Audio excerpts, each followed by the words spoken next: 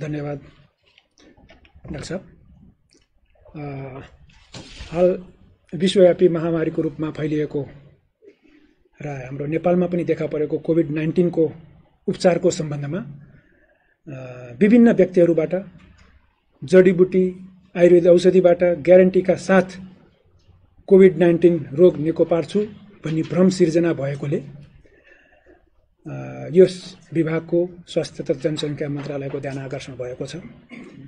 हाल हाल हामी लकडाउन र होम क्वारेन्टाइनको अवस्थामा छौँ। यस्तो भ्रम सिर्जना गरेर जनतालाई भ्रमित पार्नु हाम्रो सचेत नागरिकको दायित्व होइन। तापनि हाम हामीहरू होम क्वारेन्टाइनमा लकडाउनको अवस्थामा छौँ। हाम्रो देश जडीबुटी महत्त्वपूर्ण जडीबुटीबाट भरिपूर्ण देश हो।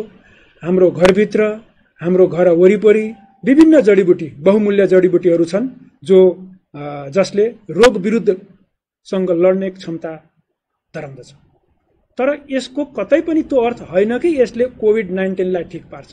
त्यस कारणले यिनी जडीबुटीहरूको हामीले प्रयोग गर्न सक्छौँ तर त्यो विशुद्ध रूपमा हाम्रो शरीरको रोगप्रति लड्ने क्षमता बढाउनको लागि मात्रै। न कि कोभिड निको पार्छु अथवा कोभिड देखा नपर्नको लागि। त्यस कारणले नेपाल सरकार तथा डब्लुएचओले पालना गरेका त निर्देशन दिएका विभिन्न सूचनाहरू नियमहरूलाई पालना गर्दै हाम्रो घरमा र वरिपरि पाइने जडीबुटीहरू जसको प्रयोग गर्न सकिन्छ जसले गर्दाखेरि कुनै पनि रोग विभिन्न रोगहरूसँग लड्ने क्षमता क्षमता बढाउन सक्छ। त्यस कारणले म आयुर्वेद तथा वैकल्पिक चिकित्सा विभागको तर्फबाट केही विभिन्न योगहरूको विषय भन्न चाहन्छु जो घरमा बसेर लकडाउनको अवस्थामा होम क्वारेन्टाइनको अवस्थामा प्रयोग गर्न सकिन्छ जो हाम्रो घरमै छ। न त्यसलाई किन्नुपर्छ न औषधि पसलमा जानुपर्छ। जस्तै गुडुची जसलाई हामीले गुर्जो भन्छौँ टिनोस्फोरा कोर्डिफोलिया त्यसको पाँच ग्रामको मात्रा पानीमा पकाएर आधा लिटर पानीमा पकाएर आधा बचिसकेपछि नियमित रूपमा सेवन गर्न सकिन्छ। दुई नम्बरमा असुराको पात र बेसार। एक लिटर पानीमा पकाएर दिनभरि